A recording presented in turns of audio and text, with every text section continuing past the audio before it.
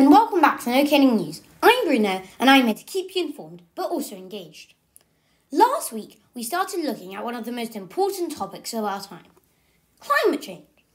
This week, we'll be talking about what individuals, industries, and companies can do to help. Let's start with why individuals need to care about their environmental footprint. Well, every one of us has a carbon footprint, which means how much carbon dioxide is released into the atmosphere because of the things we do.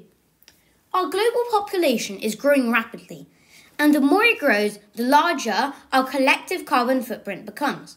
The United Nations has estimated that our population will increase to 9.7 billion by 2050. And a group of 11,000 scientists recently conducted a study which found that we need to stabilize our population growth in order to cut carbon emissions. In other words, they say that people need to have fewer babies, but this is hugely controversial.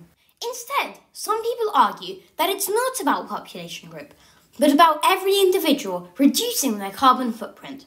Let's look at three key ways you can reduce your impact today. Number one, scientists have found that transport is responsible for 34% of a household's carbon footprint in high income countries like the UK. Walk, ride a bike, or take public transport if possible.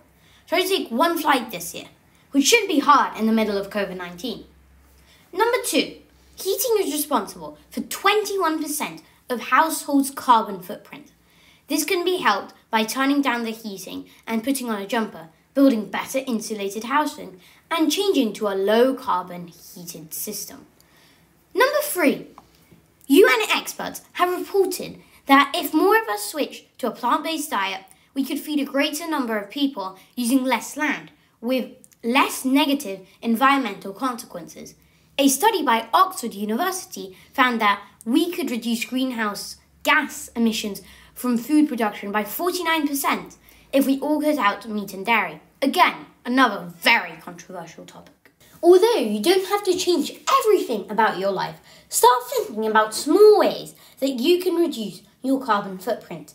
Now, let's take a closer look at what a major industry, fashion, is doing to reduce their carbon footprint.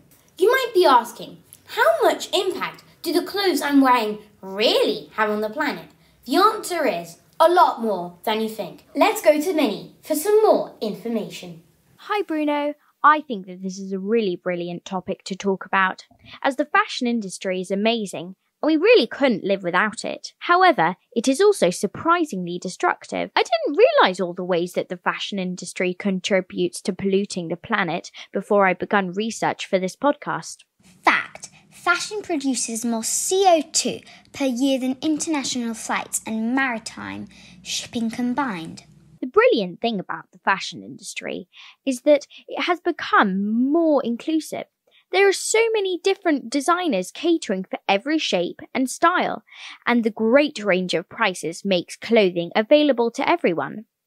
However, there are some downfalls to this. Firstly, cheap clothing is mostly made by people in poorer countries and in factories. They often work long hours in bad working conditions and for very little pay. Often, children are involved in creating fine embroidery for almost no pay. Instead, it is the manufacturers and the fashion companies that reap the real rewards. Fact 152 million children are engaged in child labour. Another problem is that cheap clothes mean that most of the time they aren't the best quality. People tend to think of cheap clothes as disposable, wearing them only once before chucking them away. So they end up in landfill, which is basically a massive rubbish dump. Fact one truck full of clothing goes to landfill every second. No kidding. The fashion industry is one of the biggest polluters on our planet. How come? Well, some materials, such as cotton and wool, are able to decompose and rot away. However, some materials can't such as nylon and polyester. They are made of plastic and are not eco-friendly at all. We also have the problem that although cotton is biodegradable and a natural fiber, it takes more than 10,000 litres of water to make one cotton t-shirt. I mean, that's a lot. Then there are factories that pollute the air. All clothing factories produce tons of carbon dioxide, which heats up the earth and makes the climate change. Factories need to look at becoming carbon neutral, using different energy sources such as wind turbines and solar energy. I love colourful clothing.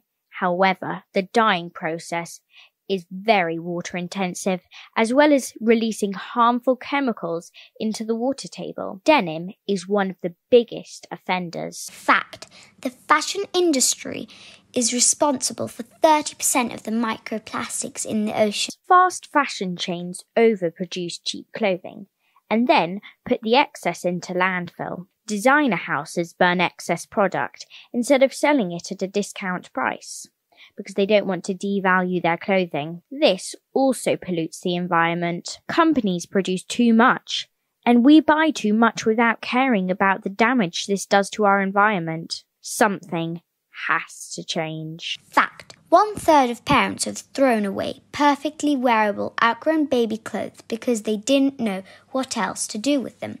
But research has shown that if we extend the life of clothes by just three months, it could reduce the UK's carbon footprint by around 10%. Wow, I didn't realise it had such a serious effect. Is the fashion industry really doing enough to tackle climate change?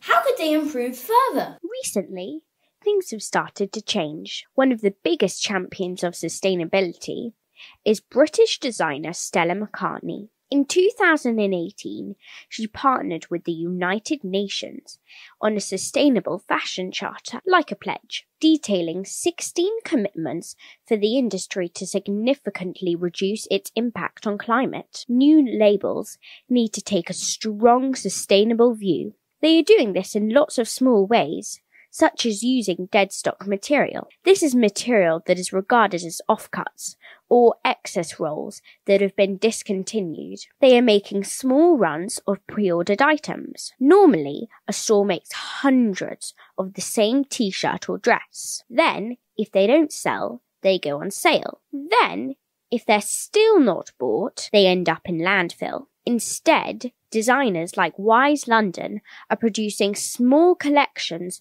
so that what is bought is made and nothing more. Others are looking into their whole production chains, like the French fashion brand Sezane. They are looking at factory pollution, natural dyes, and also environmentally friendly packaging and transportation across the globe. Fact Currently, less than 1% of material used to produce clothing is recycled into new clothing. The high street company, H&M, has a brilliant idea where they have boxes in every shop where you can donate any brand of clothing.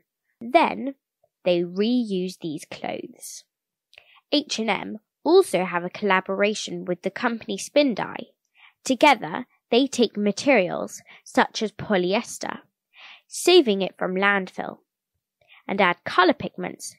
These colored fibers are spun together to make new yarn. Some companies, like the new British fashion label Alberay, are developing new fabrics made from Ecovero viscose, created from renewable wood sources. Second hand or vintage is the perfect way to stay sustainable too. You can sell and buy clothing and accessories on sites such as Vinted, or even rent a wardrobe or a special outfit from My Wardrobe HQ. Consumers, that's you and me, are becoming more educated and are asking more questions. It doesn't mean we should stop buying clothes. It just means we need people to come together to find a solution and take responsibility. I believe it's up to us as consumers to voice our concerns and vote with our wallet. We should support brands that are taking an environmental stand and make the big fashion brands from high street chains to designer labels take responsibility and ownership for their actions. Things are starting to change, but we have to keep up the pressure and make sure these changes are for good. Wow, the girls were on fire today. No kidding. Thank you, Minnie from Pembridge Hall and Bella from Belleville Primary School for showing us that sustainable fashion is the new fashion. After walking down the catwalk, next episode we will be heading down the highway to take a closer look at the motor industry. Thank you for listening. Don't forget to check out our website, nokiddingnews.com. You can also follow us on YouTube and many other major platforms. Until then, take care.